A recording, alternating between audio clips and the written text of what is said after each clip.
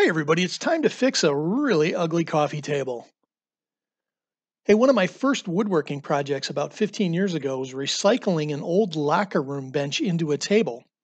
But I wound up adding some pine to make it wider, and I also created these legs that don't really match anything at all.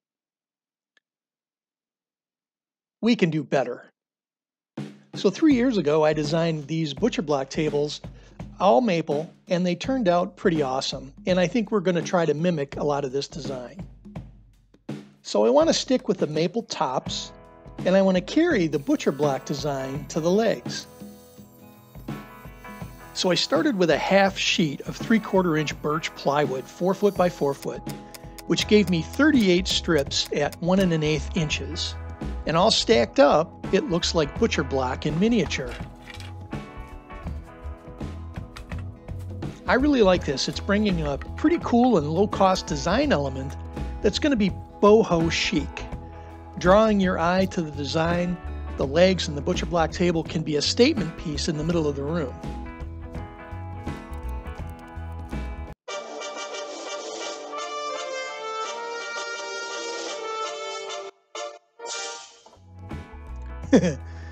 Thankfully, that glue is pretty safe to work with.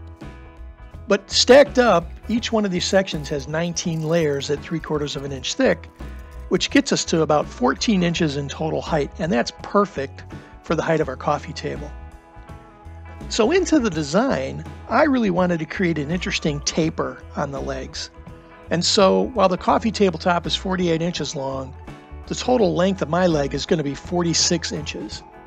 So I measured over 11 inches from that first pencil mark and then adding another three inches at the top, tapered down to an inch and a half. And that's going to be starting up at the top of be relatively wide, and it creates that nice taper for the overall leg. And I'm going to create two of these.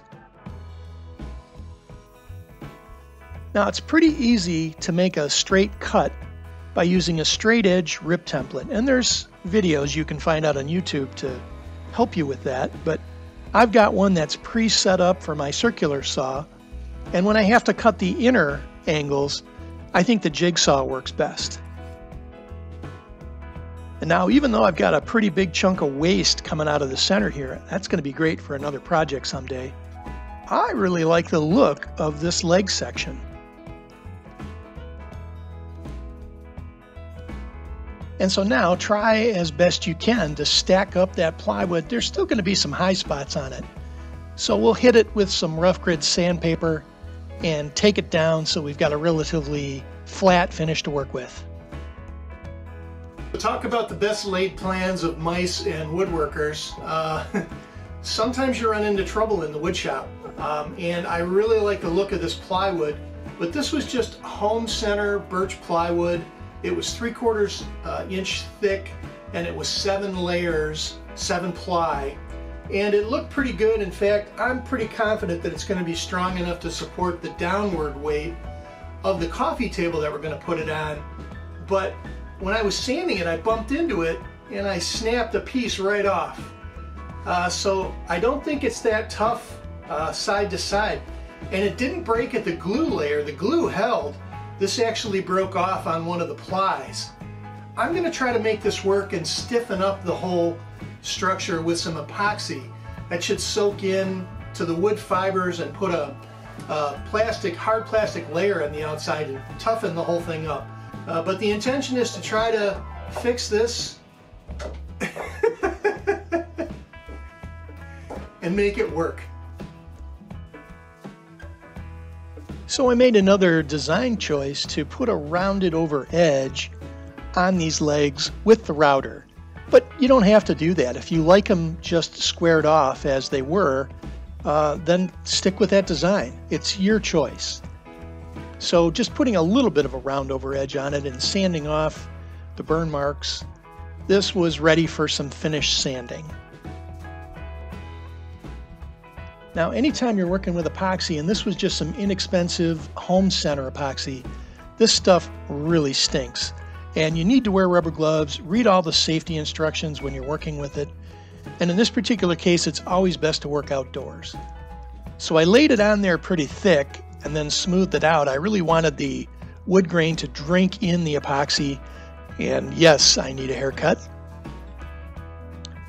And then we let it dry. And Dash, our Wonder Beagle, uh, is there for quality assurance. And he just preferred I throw it as a stick, but they look really nice, just as is without the finish sanding. Now to make it easier to work with, I just cut this table down the center. It made it a little easier to make a second pass and remove that pine. But what I didn't know is that the outer edge of this butcher block table wasn't completely straight. I'm not sure if it had warped, but when I took the edge off and I put the pieces together, there was a crown and it, it would not have glued up really well. So I brought back the straight edge rip template and flipped it over, screwed it to the bottom side of this butcher block table, and yes, we've got to get it back to the saw. With that straight edge rip template up against the fence, it allows me to make a nice, clean 90 degree cut. And now, when I put those two pieces together, it's nice and flat and ready for glue. And that's right, everybody. Two minutes, sanding party. So after the glue was dry, you can also see this old yellow finish that was on this butcher block. And man, that's got to go. We've got to sand all of that off. So we started with some rough sanding and eventually we'll get to the finish sanding. Now before we do that, instead of just running these legs down the front and back length of the table, I wanted to crisscross them and I could have spent the time to build a jig, but I just centered them and measured them out made some pencil marks. And I'm going to cut some cross hatches so that the two pieces notch and fit together. And if you're very careful with a handsaw and you stay inside the pencil marks, you'll make a pretty clean cut in this plywood. Now, I've been doing this a while and it takes a little practice, but this is something you can do and just be very careful when you're using the saw. Make sure your blade is straight up and down and you'll get a nice clean notched out cut like this. I've got to do the same thing to the second piece. Now after that cut, I still couldn't get the pieces together, so I had to do a little fine tuning with the rasp, and then eventually I could get the two pieces together with a little tapping and a little, little pushing.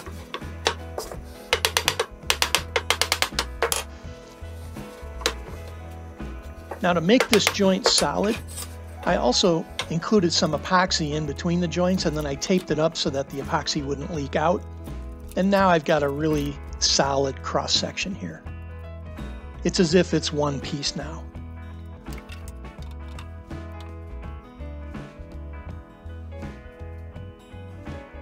and I couldn't wait. So not done with the finish sanding, but I wanted to see what it looked like just stacked up. Now here we go. Get your sanding block.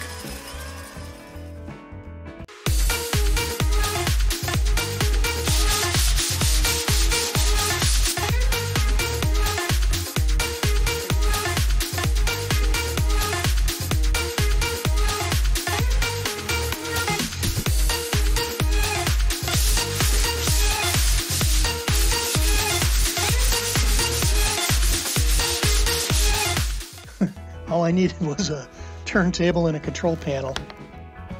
All right, we're almost done. So I'm just putting some center line marks on the legs and I'm measuring out some holes so that I can put in these cabinet screws. And these are going to be great to attach the legs to the tabletop. They'll be nice and solid, and if I ever need to take it apart, it'll be easy to pull it apart. For that matter, 10 years from now, I could change the leg design and it'd be easy to remove them. And so I didn't show the footage for spraying the polyurethane, but I am really pleased at how this came out. We got the dingy yellow finish off the tabletop, and those legs really do look like it's a mini butcher block design. It's quite eye catching. I think this can be a statement piece in the center of any living room. So while my old coffee table needed some big time help, I think you can upcycle or recycle most any wooden tabletop with this plywood leg technique and get yourself something truly boho fabulous. So if you got something ugly sitting in your basement or you find a shabby treasure out at a thrift store, this project is for you. And finally, anytime you're using power tools or chemicals, please read the instructions and stay safe.